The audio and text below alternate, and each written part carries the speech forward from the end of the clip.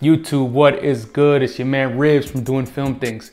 Every single week I drop a new video about film photography, so if that's your thing, definitely go ahead and subscribe.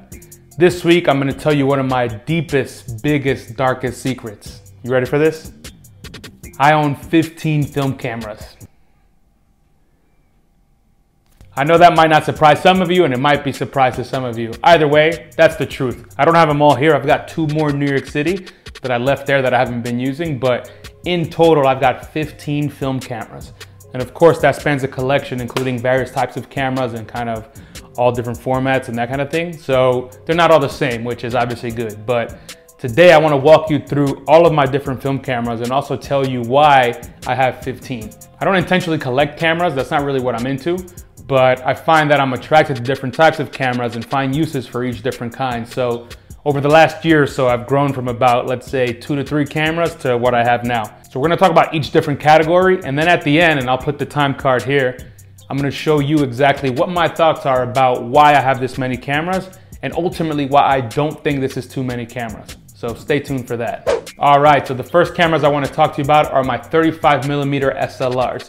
Got two right here and then another one right here. So these SLRs are actually some of my most used cameras, especially these two right here, and especially my Canon 300V. 300V and kind of my automated SLRs in general, they're just extremely versatile. I have a bunch of lenses for the Canon system and therefore these cameras help me get the job done. Anything I need, I can adapt to those cameras and get really, really great shots for 35 millimeter. So if it matters for me to have the versatility and to be able to switch lenses and to kind of do all those different things, then I make sure to bring one of those two cameras. If that's less important and I kind of just want something that's nice to carry around but still has that SLR style and function, then I'll bring my Olympus OM20. And the OM20 is great because it's very compact, it's small, it's a beautiful camera, and of course it's an SLR, so I'm used to using that system and therefore I rely on that. Now I actually have a Canon 7, which is a rangefinder camera, but it's kind of in the same general feel of those 35 millimeter SLRs. The Canon 7 is a bit heavier than my other SLRs, but it's kind of the same size. And it's great. I just strap on a prime lens and just walk around and kind of use it like a street photography camera. So the OM20 and the Canon 7 are really good for that because they're both small and compact, and they're also very good looking. So I get some style points in the street, unlike when I use my Canon SLRs that are the automated, fully electronic ones. So 35 millimeter is kind of my prime go-to, and I'd say that's about 70% of my work, especially now that I'm printing a lot, since my enlarger can only handle 35 millimeter. When I decide to scale up and get a bigger enlarger, then I'll kind of potentially use some of my medium format a little bit more. So I do have some point and shoot 35 millimeter cameras as well. I've got two right here. One is the Canon AFM2, and the other one is the Nikon L35TW. Both of those are great point and shoot cameras. You put the film in there, close it, you don't have to focus, you don't have to do anything. The camera takes care of the rest, which is great. They've got built-in flashes as well, so these are perfect for kind of just walking around, maybe going to parties, hanging out on vacation. You know, all the fun stuff we used to do before the virus took over. So those cameras are very kind of good and compact and they're fully plastic, which means, you know, they're not extremely durable, but if you do break one of these, you could replace them potentially fairly easily. Although um, the AFM2 is not that cheap, but the L35TW is a little bit cheaper. So in general, these cameras are great and they're a nice kind of complement or supplement, you would say, to the um, more functional 35 millimeter SLRs where I can do a lot more and kind of strap on a lot more lenses and, and do some more serious photography with those. My last 35 millimeter camera is actually this one right here. This is a 3D printed uh, Skura pinhole camera. And it's very interesting because pinhole typically, as far as I'm concerned, is usually reserved for medium format, but here I can do so in 35 millimeter, which is great. So it's a really cool camera and I built it myself out of the parts that arrived in the mail. It took an hour or two to assemble and it's pretty cool to, to have something like that. It's a nice, interesting showpiece and something good to talk about, especially when you're out taking photos. All right, so moving on to medium format. I became really intrigued with medium format last year when I started shooting a bit more of that. And since then, my kind of interest has spiraled quite a bit. My first medium format purchase was actually this folder right here. And this is the Zeiss Ikon Nettar. It's a really old version and it has um, not the best lens or the best shutter, but it's great. And it does six by nine negatives, which is fantastic and big.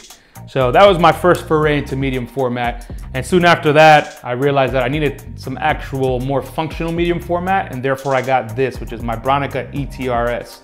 Um, and the ETRS is amazing. It's a modular system. You basically put it in the same category as the Hasselblad, and it allows me to do everything that's really good for a studio and also for shooting outdoors.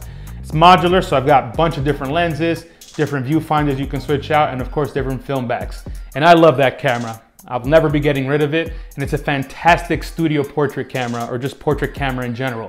It's a 645, which means I get 15 images to a roll of 120.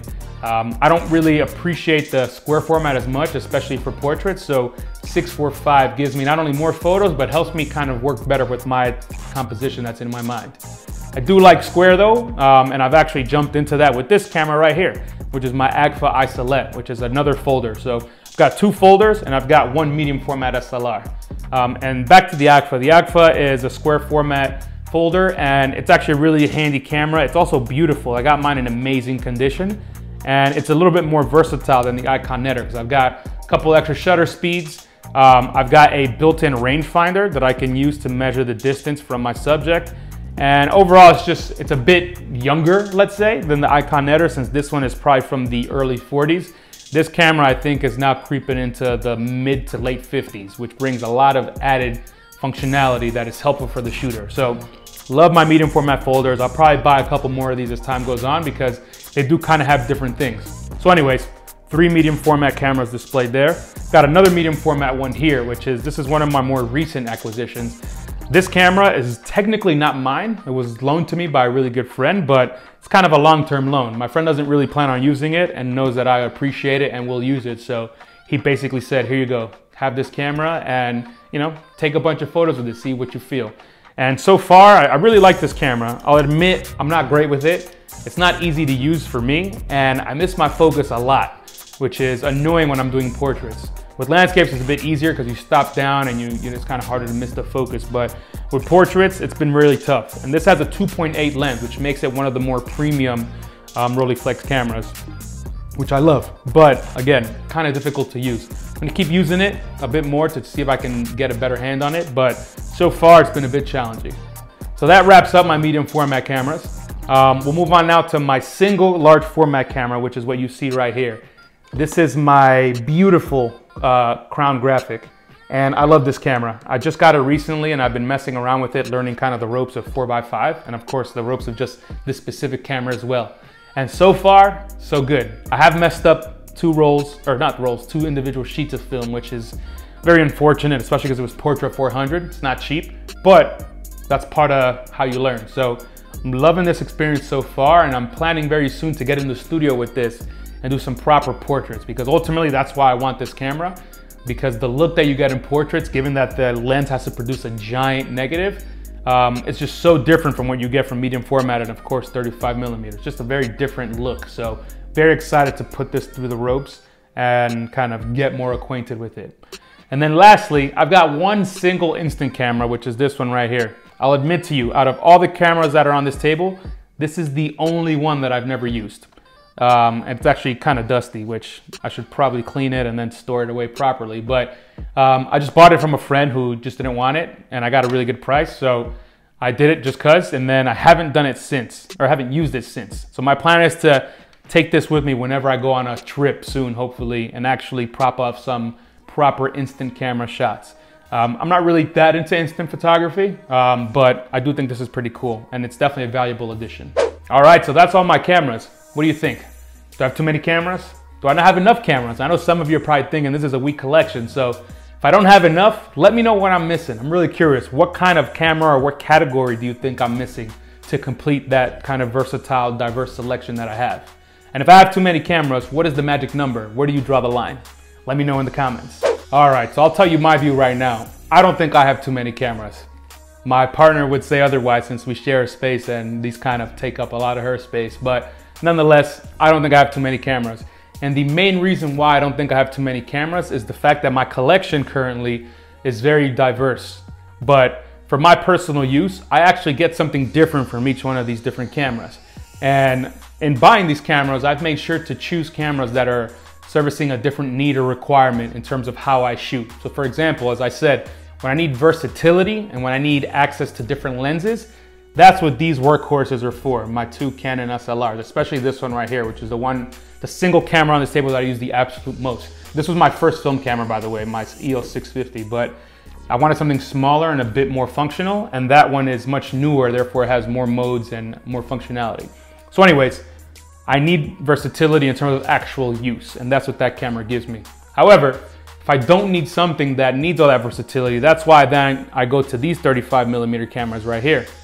So again, being able to do different things with different cameras is key. The other thing is formats. That's kind of the most obvious distinction here. You've got 35 millimeter, you've got medium format, and now you've got large format. And of course you've got instant. These different formats have different benefits depending on the situation. Doesn't mean one is better or worse than the other for something specific, but if you want to use one for a particular reason, for example, portraits, I love shooting medium format because I don't need as many photos for my portraits and I love having that large negative. And I also love the bokeh that you get from medium format images because the lens has produced that larger negative. And that goes even more to say with this large format one here. So that's very important and therefore having different formats at the very least matters to me as well. Um, the other thing has to do with portability. So we talk about medium format. I love my Bronica and it's extremely functional. I've got different lenses, but this camera is heavy, which is why I would never take this with me on a trip. As versatile as it is, for medium format, I, I don't need that as much when I'm traveling or when I'm visiting new locations. Therefore, having a folder like this is incredible because that folding camera is so compact. You literally close it up, you can shove it in a pocket, you can shove it in your jacket, put it anywhere. You don't need any real space because it's so small and packs away very nicely. So that distinguishes this medium format camera from the other. The last thing I'll say is that I actually shoot a lot. Um, film photography is, is one of my passions and therefore I'm out there constantly shooting, whether it's just for the sake of getting out and shooting or because I'm doing something that I think would be nice to document. Or whether I'm doing a targeted shoot where I'm providing a service to someone else, for example, for portraits. So that matters a lot and I shoot so much, I think I can justify having these different cameras, given that none of them will kind of sit around and collect dust, except for this Polaroid here, which unfortunately I haven't really given much use to, well, no use to at all. So if you shoot a lot, having multiple cameras does not become unnecessary. It just means you have kind of a toolkit or an arsenal that you can use for different things. If you're not shooting a lot, then maybe it's not worth having more than a couple cameras because at that point, you're not shooting enough to get use out of all of them and therefore you probably will end up with something that collects dust. Think about how much you're shooting and that will probably help you decide whether you need just a couple cameras, maybe two, three cameras, or maybe you can have 15 like I do. So that's the video for today. I hope you enjoyed it. If you did, please go ahead and give me a like as I would really appreciate that. And of course, if you have not subscribed, go ahead and subscribe. Look at all these cameras. I use these all the time and I create awesome content with all of these different cameras. So you don't want to miss any of that. That's all I got for you today, YouTube. Peace.